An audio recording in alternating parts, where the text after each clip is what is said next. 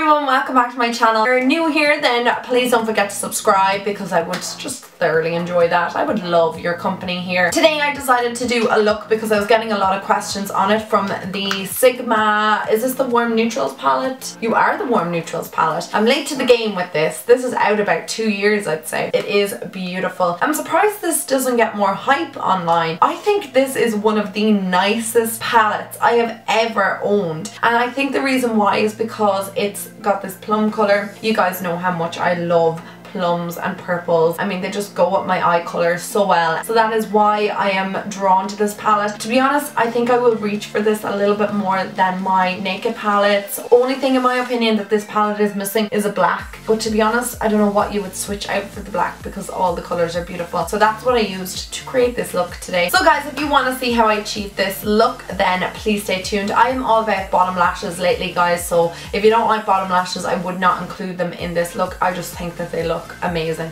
and they pull the whole eye look together. Thank you anyway guys for listening to me ramble and let's get straight into the tutorial. So I'm going to start by applying two foundations. I'm using my L'Oreal True Match and my EX1 in the colour F300. I'm pretty sure I would have used the primer but for some reason I've lost that clip. I'm going to take Painterly Paint Pot and apply that all over my lid just to prime and then I'm just going to set it with a pressed powder from L'Oreal. I will write all this down below. I'm taking that Warm Neutrals palette from Sigma and I'm going to place that kind of warm peachy colour through my crease. It's coming up really brown on camera for some reason.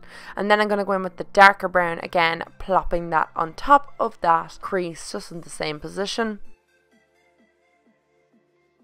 I'm taking this amazing aubergine, gorgeous, plummy shadow and just placing it on the outer corner. Again, I'm kind of just blending it a little bit below the transition colours and then blending it ever so finely into the inner corner of my eye.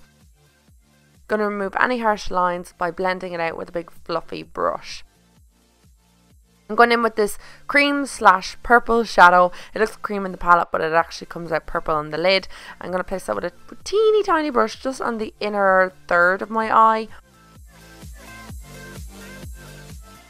And then place this cream shadow underneath my brow and into my inner corner of my eye.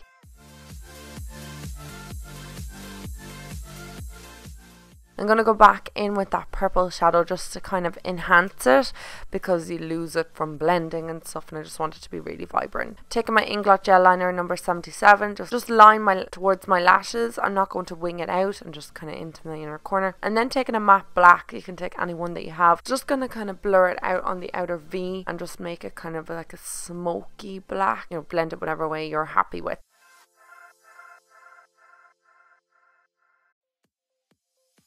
I'm going to take my gel liner from Inglot, this is number 15, and place that through my brows. And then going to put my mascara on just on my upper lashes. And I applied my lashes also. I will write down the ones that I used are the Esqido ones amp it up. Conceal under my eyes I'm taking the naked skin concealer and just blend that out with my beauty blender and I'm applying it in a triangle position underneath my eyes. And then I'm going to take my L'Oreal press powder. This is a creamy white shade and I'm just going to use that to set underneath my eyes and brighten them up. Set my face makeup. I'm taking MAC's mineralized skin finish in medium golden and just going to set my face and then going to go in with that warm brown again underneath my lower lash line and then placing the purple just on the outer corner and blending it all out with a big fluffy brush. I'm just going to place a black kohl liner into my waterline and then coat my lower lashes with mascara. I'm going to later go in with bottom lashes. To contour, I'm taking my Makeup Revolution contour palette and just going to go in with that cool tone brown and just contour my underneath my cheekbones and around the top of my forehead and my temples. I'm taking MAC's Warm Soul as a blush today. And then I'm going to go in with the Mary Lou just to add a little bit of enhancing brightness to this whole look. I'm going to line my lips and I can't remember the lip liner I used, but I will write it down below. It's from Rimmel anyway.